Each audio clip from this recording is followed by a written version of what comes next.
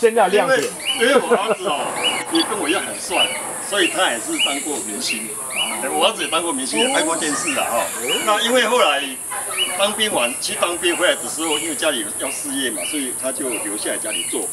就没有没有没有再继续走台湾大道四段那里。呃，我是从事以非高机的零件买卖业务，跟汽车零件，还有那个我们车子的油品类的这样子。那因为儿子我我我比较早婚，所以我五十一年次的，我现在是五十年次的。那我有三个孙子了。哇！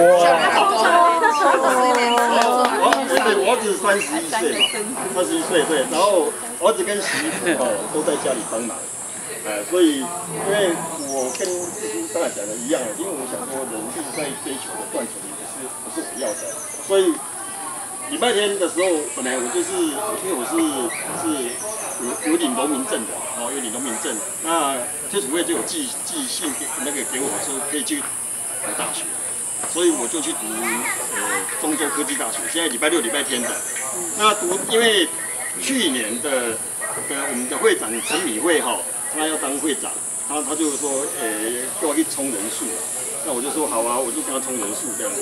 然后一进去之后，他又跟我讲说，那一年的记者要培训，他要去报记者，叫叫我去去报都有分数啊。那我就说好啊，那同学同学叫嘛，我就跟着他去了。然后去的时候，因为，呃，就就进去都是今年是我我进同济会的第二年而已，我第二年。那我第一年去的时候，因为去年因为我本身哦，我很喜欢照相。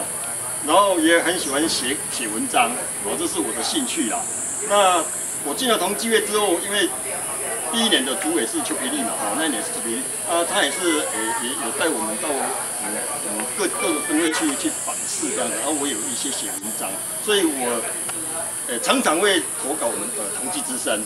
哦，都用我张瑞元的名字，但是没有用硕士大哥的名字，哦，然后但是也喜欢照相。所以我第一年我就有去总会工作了，因为他们总会有缺人，就叫我去帮忙照。那今年今年是第二年哦，所以我也有到总会去拍照，因为那是我的兴趣。所以我认为说我们